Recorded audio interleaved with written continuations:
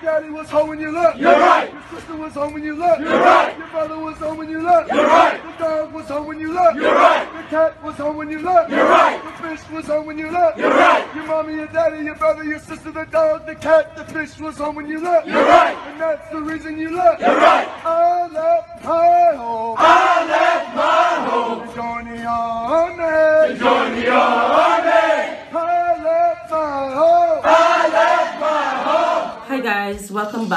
to my channel. I'm gonna be talking about the Navy and the RAF. Yes, I know it's the first time I'm talking about it. And this is because um, I was a little bit reluctant to address the topic because I find the Navy and the RAF to be a little bit more tricky. It's a bit trickier than the Army. But um, for the past week or so, I've had two um, of my followers asking about the Navy um, in particular. And I've also been asked about the RAF, the special services, all of that. But I'll not be touching on those. I'll just be briefly talking about the Navy and the RAF. Um, like I said, I was a little bit reluctant to talk about it because it is not as straightforward as as the army. Um, I shouldn't say straightforward. Not that it's not straightforward, but it's not as easy as the army is to get into. That's just my opinion based on experience, based on what I've seen. Even those that are actually in the army that wants to transfer to RAF or the Navy, they'll tell you that these, you know, it's a little bit challenging, but it is doable. So, um, might as well I talk about it because I'm sure I'm going to get more questions about it and so on. Because at present, the Navy, you can apply and so on. Because, yes, guys, the Navy has always been taking Commonwealth soldiers.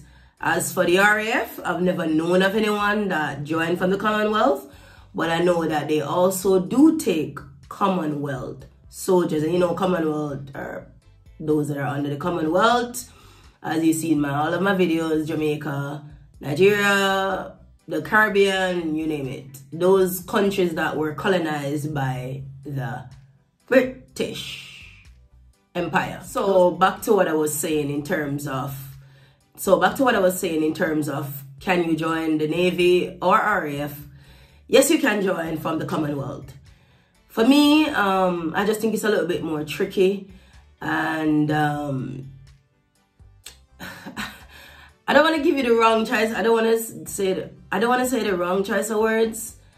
Mm. All right, let me not use the word tricky. Um, you need more. Put it this way: you need a lot more to join the Navy or the RAF. For example, um, you need qualifications as opposed to the army where there are roles that you don't need any formal qualification, i.e., CXC, to join in regards to the Navy and the RAF, they're a bit more, they're a bit different. Um, I think I'll compare it to, for example, Jamaica Defense Force and um, the Jamaica um, Constabulary Force.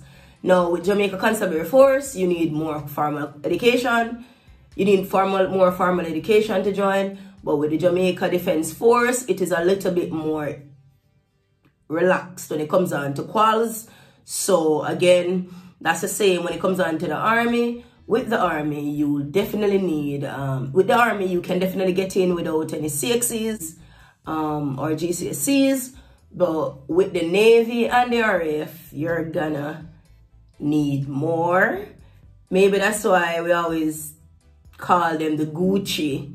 So we call them the prom posh, um, the Gucci force because they get a lot more than we do. Army tend to get the worst accommodations, it's the truth.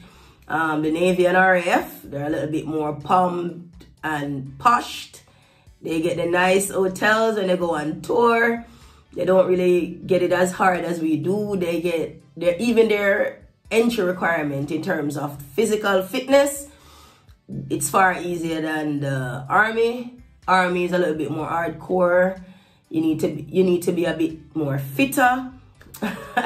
I mean, no offense to um, uh, um, RAF friends, Katie, or whoever you know who you are. but yeah, you need to be a little bit more fitter to join the army. But when it comes on to quals, the Navy and the RAF, they're gonna require more from you.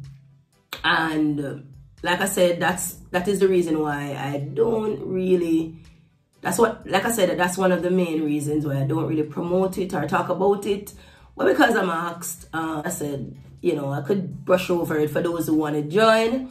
Um, at the moment, though, they're still um, not accepting Commonwealth soldiers. At least that's what they say, guys. I told you it works. They just just keep trying, and eventually you'll be you'll you'll see that they take you because they're not gonna come out and tell you that they're taking applications.